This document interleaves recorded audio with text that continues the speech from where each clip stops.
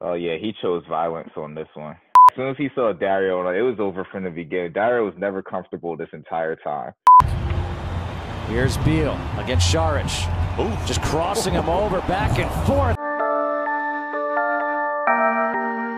Once he goes to that behind the back, you know it's over, bro.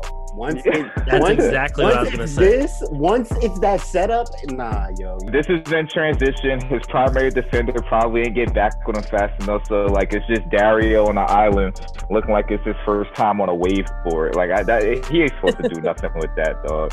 The moment he went behind the back feels like, all right, let me do the tween, and then his his upper body moved, but his lower body stayed the same.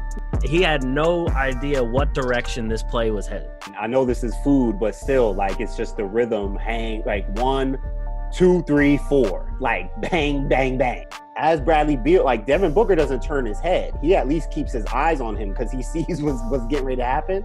Bradley Beal read that too and, and, and brought him right back for some for some pecan pancakes. You heard? Dario just needs to overcommit and force him uh, into either Jevon or uh, Devin Booker and call it a day. I feel like that's what he was trying to do once he hit him with the cross. Bigs need to just like stick your hand Just, out. that's what I'm like saying. you Just, said, like just shade. go close to yeah. him. Yeah, like most bigs will just do that. They'll just like try to get close to you and like literally go by me. You can let him go by you and then stalk him like running to the rim and then now he's got to make a shot over Devin Booker and your outstretched seven foot hands.